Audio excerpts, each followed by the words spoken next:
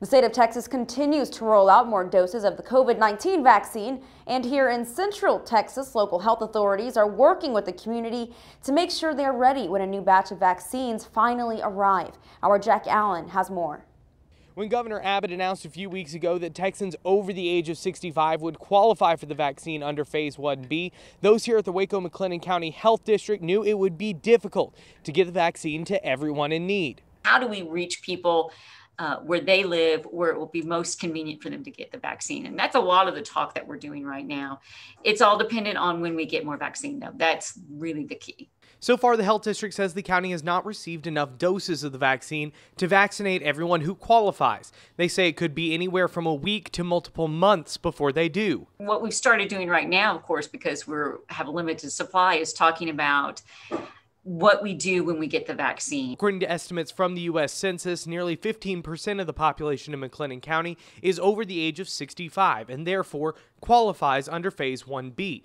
That's more than 35,000 people. We can't take every person in that age category in this county at one time. So it's about finding ways to make it happen. The health district is teaming up with the city of Waco, local schools, and other organizations like Meals on Wheels in Waco to help come up with a plan. We're also doing grassroots efforts, and that's where the Vaccine Coalition comes in when we start talking about um, spreading the word about vaccines. Debbie King says a majority of the clients at Meals on Wheels qualify for the vaccine under Phase 1B, but spreading information about it and even getting them to a place to be vaccinated could be a problem. We have have three senior centers in the city of Waco. We have others in the county.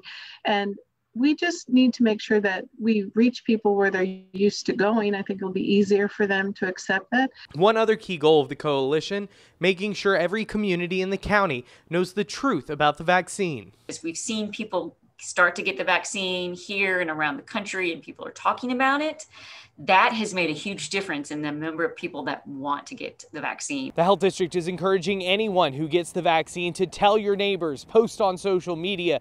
They say friends and families are going to be more effective than any messaging they can put out. Reporting in Waco, Jack Allen, 25 News.